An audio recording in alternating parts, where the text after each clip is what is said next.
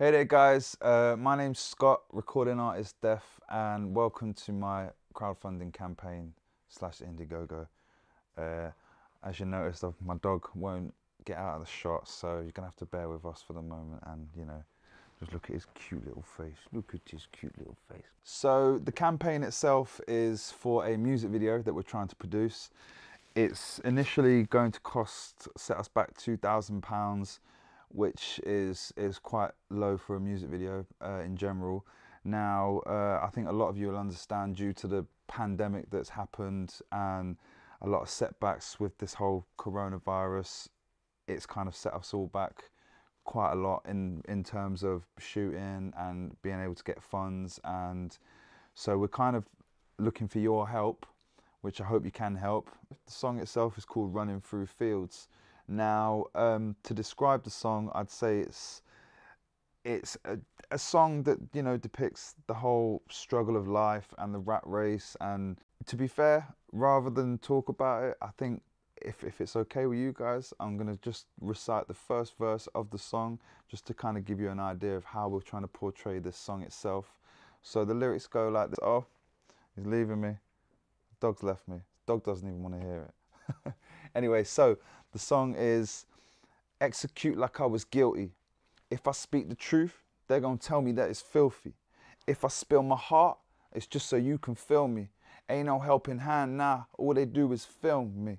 So pick your poison, let it bleed. We still hoisted from the trees, spilling blood upon the leaves, on the leaves. See, symphony is bittersweet. See, it's finna be a spree. See, if they don't let me be, take a deep.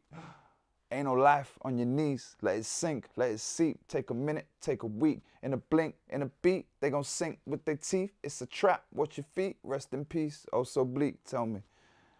So hopefully that can kind of give you an insight of the lyrics itself and the imagery we're trying to portray.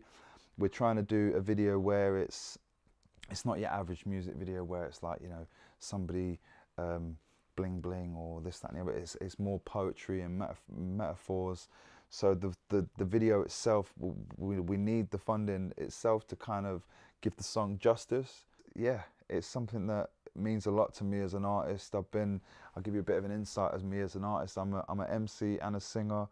Uh, I've been doing this since I was about 15.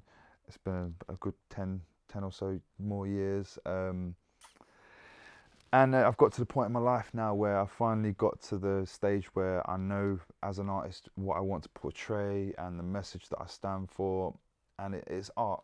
And I feel like at the moment art is imitating life, life imitates art, like uh, vice versa.